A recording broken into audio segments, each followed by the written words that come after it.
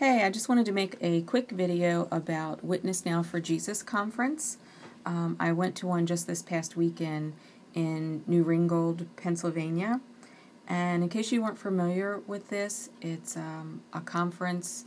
Witness Now for Jesus is a conference for um, ex Jehovah Witnesses, current Jehovah's Witnesses who just want to learn and uh, grow, um, and other religions. Anyone who's interested is welcome.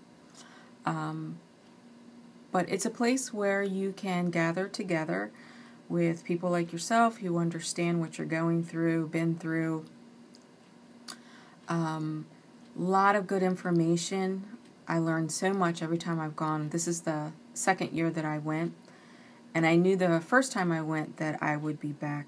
I enjoyed it so much and I knew it was gonna it's gonna be my thing and I'm gonna go there every year and so far so true. I'm uh, going, so uh, I'll be there in 2014.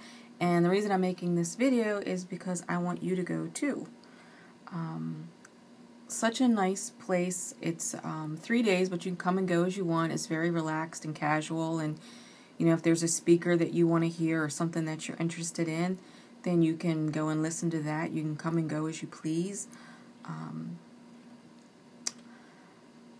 it was um, three days, and they have wonderful programs. They have um, speakers who, you know, teach you things. There's slide presentations, little movie clips, and music, and food, and fun, and it's it's a really good time. And it's a place where you can go and and have fellowship, um, especially if you're a witness who just hasn't been comfortable with the you know finding a church or a group to um, associate with this would be a great place for you to come. Um, again, I just learned so much and I enjoy it so much. I just want everyone to be a part of that. And it's a place for us to support each other. Um, this year's theme was um, about helping um, the householders out there to prepare themselves, to prepare them for the experience when a Jehovah Witness um, comes knocking on their door. Um, so we want to reach out to um, other religions um, to prepare them for this experience. You know, to be able to be prepared to cast seeds in their direction, um, get maybe say something to get them to think um, to understand the mindset of the Jehovah's Witness who's knocking on their door.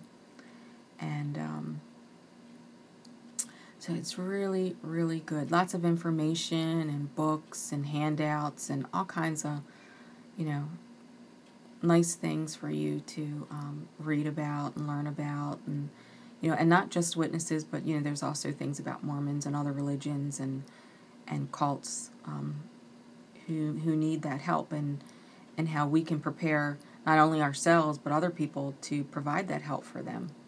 So, um, great, great time. It was lots of fun.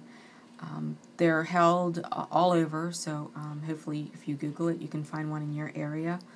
Uh, again, I went to the one in Pennsylvania because I'm on the East Coast. Bird. Um, anyway, I don't know why I did that. But uh, anyway, so I hope that you can make it, and I'm going to keep mentioning it. So we've got a whole year to prepare and plan and make the arrangements so that you can come and join in next year. So I hope to see you, and you can meet lots of people that who make these uh, YouTube videos attend, as you know, as well as lots of people who don't. Um, either way you go, that's fine. Lots of great people to meet. I met a lot of nice people. The speakers were so great so many things to look forward to, and I I just want everybody to go and and be uplifted as I was. So, shout out to Witness Now for Jesus, and hope you can make it next year. Thanks. See ya.